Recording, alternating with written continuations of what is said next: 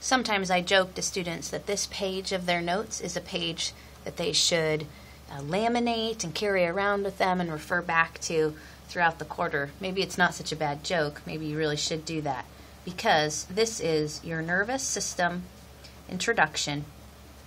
And I kid you not, understanding this page will help you get answers right on test after test after test because it's really bringing together a lot of basic information. Okay, so what I've drawn here, uh, this is the brain, here's the, cerebellum on the back of it, and then the spinal cord going down. And we're going to highlight all of that in yellow because this is all uh, central nervous system.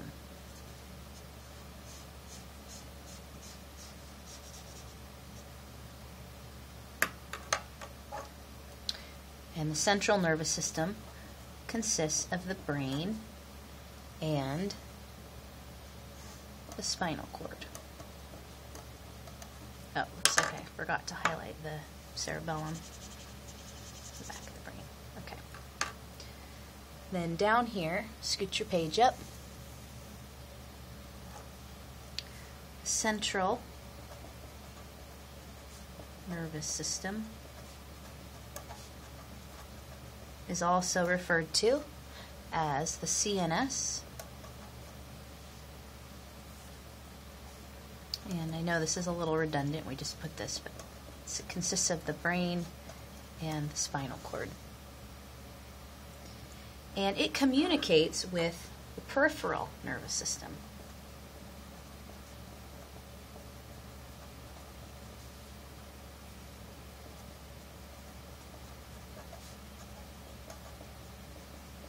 Or the PNS.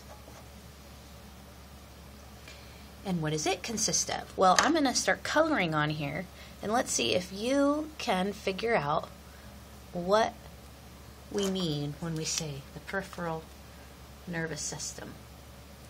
Well, there are some nerves that come off of the brain itself, and then there are nerves that come off the spinal cord that go to your arms, and then there are nerves that come off of your spinal cord that go around your rib cage and to your internal organs like your heart and lungs. And then there are nerves that come off your spinal cord that go to your legs and also some sacral nerves that come off the very bottom of the spinal cord that go to your legs and to your uh, pelvic organs. Okay, so what did what word did you keep hearing me say over and over again? Hopefully what you picked up on were nerves. And sure enough, that's what we find in the peripheral nervous system are all of the nerves. You have 12 pairs of nerves that come off of your brain. We call those cranial nerves. 12 of those. And then you have 31 pairs of spinal nerves.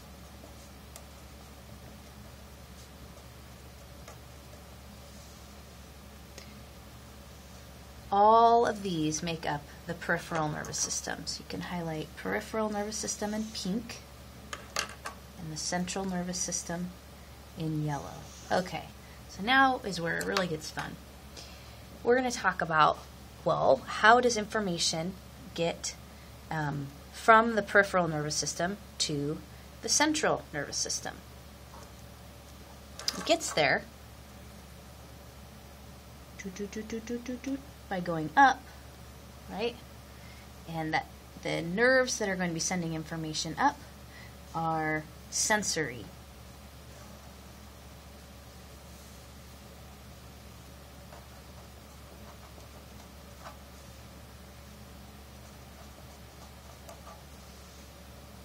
Another word for that, for sensory, is afferent. The afferent means it's going toward the, uh, either toward the spinal cord.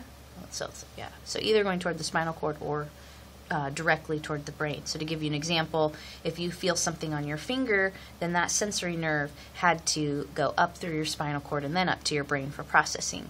If you see something with your eyes, that sensory information was able to go directly from your eye to your brain. It didn't have to go through the spinal cord. So, now we'll think about all of the different kinds of sensory information. I just gave you a couple of them, didn't I? Touch. And very closely related, nociception. What the heck is that, right? That's pain. Pain receptors. Temperature.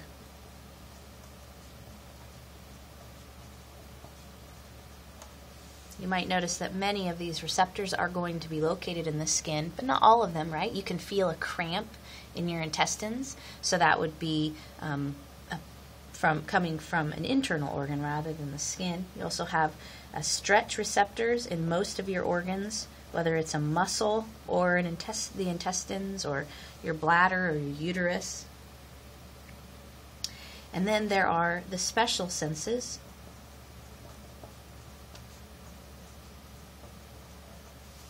if you look up at the top of your page, I'm going to come right back, so don't worry if you're not caught up with me writing.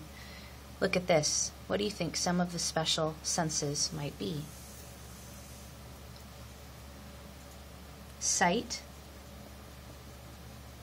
smell, taste, hearing,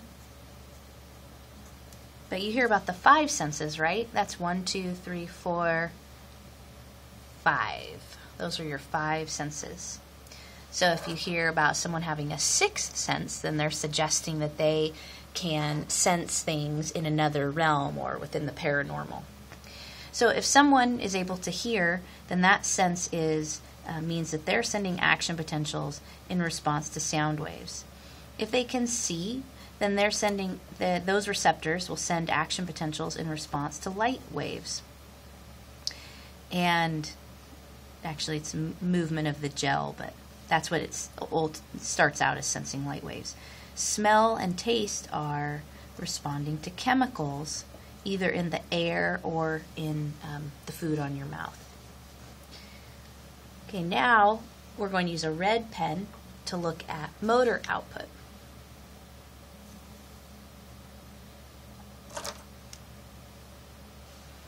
So that would be information going out from the central nervous system, and that means it's either going to go um, out a spinal nerve or out a cranial nerve. It's got to go out one or the other. And we call these kind of nerves motor nerves. And another word for motor is efferent you see the E instead of the A, it means to go away from. Okay, now, not surprisingly, you have control over a lot of things that you can move or motor up, other things you can't control. The primary thing you can control are neurons that go to your skeletal muscles. We call those voluntary. But I hope you could also understand that just because you can choose to contract your quadricep, there are times when you're exercising you don't have to think about it at all because you've done it so many times. Okay, so another word for that,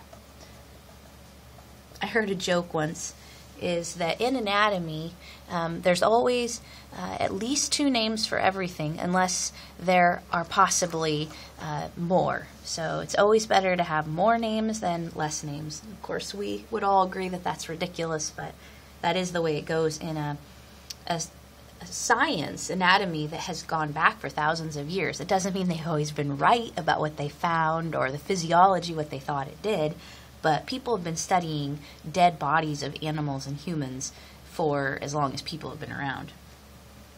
Okay, so somatic will go to skeletal muscles. And you have over 600 of these. So this would be the voluntary.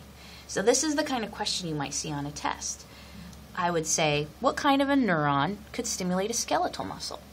And then if it's a multiple choice, what you're really trying to get at is it would be a somatic motor neuron, right? It wouldn't be a sensory neuron, and it would not be uh, an autonomic, which we'll look at over here, or involuntary.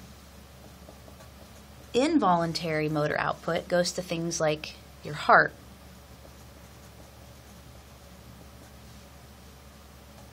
It's kind of automatic, right? So another name for it is autonomic.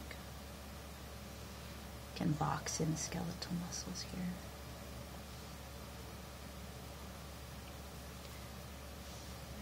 And that's going to be going to the other kinds of muscles smooth muscle and cardiac muscle. I used to always add glands to this list, but really, the way that a gland is controlled is by squeezing the smooth muscle around the gland so that the gland empties out its ingredients. So I think we can even simplify and just say smooth muscle or cardiac muscle. Okay, now let's use um, blue and green, or actually let's not use blue. How about red and green? So red would be neurons that go to organs to help them get ready for fight or flight. So sympathetic or fight or flight. And another name for that is thoracolumbar because the neurons that gets you ready for fight or flight, I'm not joking, this is actually this is very straightforward. They all come from the thoracic region of the spinal cord. They come off of that. So all in these these nerves here are going to be the ones that your your organs, whether it's your heart or your lungs or your skeletal muscles or your eyes even, all of them come from originate off of the uh, thoracic and the little bit of the lumbar region of your spinal cord. Okay, now compare that, we'll use green, with uh, what's called rest and digest, or the parasympathetic. Para meaning beside the sympathetic, or the cranio sacral. The word sympathetic um, has a very ancient meaning of, like, you know, you think of sympathy, but it actually has to do with emotion and like strong reaction. So, of course, you can see where over time that name kind of evolved into uh, what our body does when it's under stress. And then parasympathetic means beside that sympathetic, besides the, beside those sympathetic neurons. And you can figure that out if you think about an animal this is funny, I'm going to turn your page, that is on four legs, all of the nerves for the parasympathetic come off of either the brain or the sacral parts of uh, that it's not even part of the spinal cord, but off of the sacral nerves.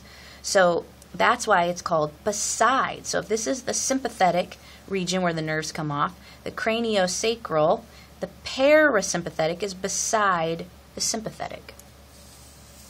In humans, it would be above and below rather than beside, right? Because we stand upright.